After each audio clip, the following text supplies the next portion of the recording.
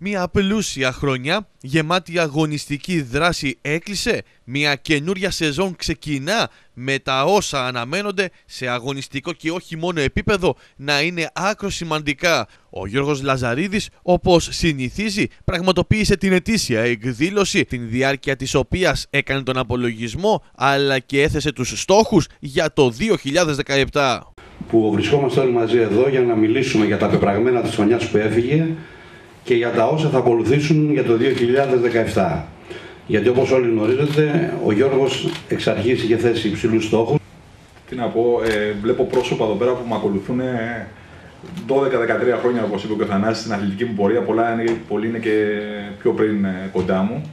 Και χαίρομαι ιδιαίτερα που σας βλέπω, που σας βλέπω όλους υγιείς και δυνατούς και που μαζί, γιατί τη χρησιμοποιώ πάρα πολύ τη λέξη αυτή, ε, πορευόμαστε και κάνουμε πράγματα ε, πέρα από τα αθλητικά που λέει και ο Θανάσης, ε, μ' αρέσει να δημιουργούμε πράγματα και γι' αυτό για μένα είναι σημαντικό.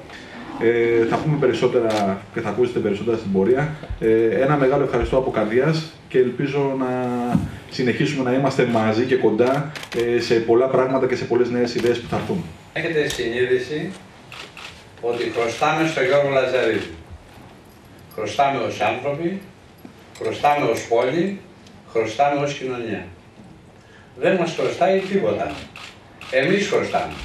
Είναι τιμή για μένα να με θεωρείς φίλη σου και θα είμαι εδώ πάντα για ό,τι και χρειαστεί. Ε, θα μιλήσουμε για τον Σύλλογο Διαφοροζώ, του οποίου είναι εμπνευστής, ο ιδιοκτήτης αλλά και πρόεδρος. Ε, και τέλος, με μεγάλη περηφάνεια, θα σας ε, παρουσιάσουμε το πρώτο διεθνές τουρνουά με αμαξίδιο, το Ansin Machine Open.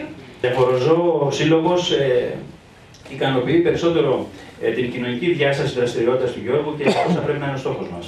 Ε, να βγάλουμε τους ανθρώπους από τα σπίτια και εμείς στον αθλητικό οργανισμό θα πρέπει να έχουμε αθλητικές εγκαταστάσεις ώστε να μπορούν να φιλοξενήσουν αυτούς τους ανθρώπους.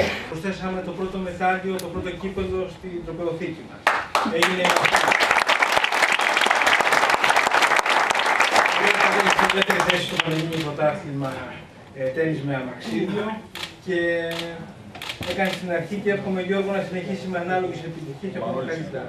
Το βαρύ φορτίο που φέρει ο κ. Ταζαρίδη, ίσως δεν το έχουμε φανταστεί ή δεν το φανταζόμαστε συχνά. Έχουμε όμως υποχρέωση να το επιθυμήσουμε στον εαυτό μας όλοι μας. Και αυτή την μοναξία δεν τη γνωρίζουμε. Και ένας λόγος που θαυμάζω ακόμα περισσότερο τον Γιώργο Ταζαρίδη, γιατί δεν μπορώ να φανταστώ τη μοναξία αυτή. Και ένας λόγος που σα πάρα πολύ είναι γιατί έχει αποκτήσει αυτούς τους φίλους.